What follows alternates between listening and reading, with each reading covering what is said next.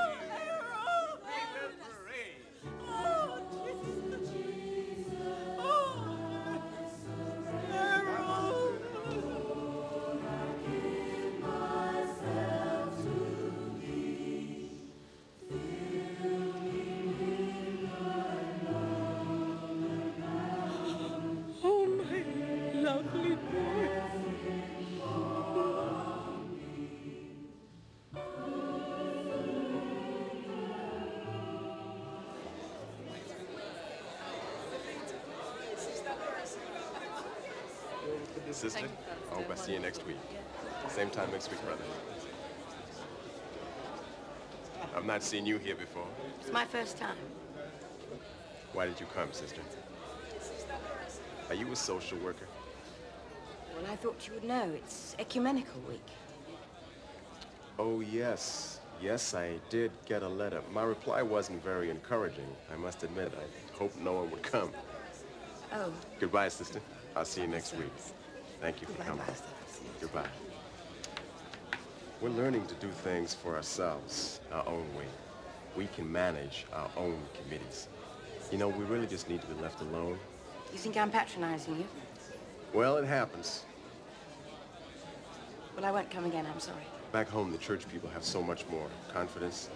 I'm just finding a way. I don't mean to be unkind. No, I can see that. Goodbye, sister. May the Lord bless you.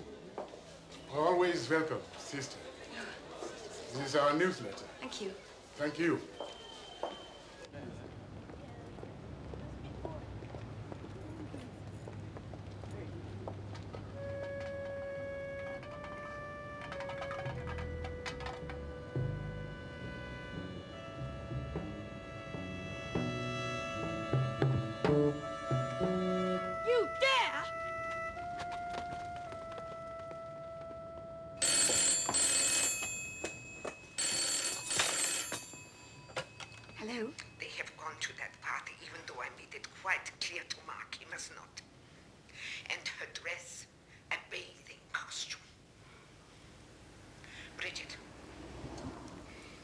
Elfrida, I don't want to know. I keep telling you, please. Julie, I don't want to know. But of course you do. He's the father of your daughter, isn't he? I phoned you earlier. There was no reply. Well, say something. Bridget, how are we to get rid of Rebecca?